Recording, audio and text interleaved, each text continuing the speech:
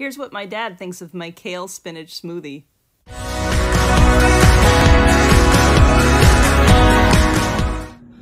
Dad, why doesn't that appeal to you? It just the green like that is, I think of, Grass. yeah, well, I just think of mush, grass, red, yeah. Some people just don't know what's good.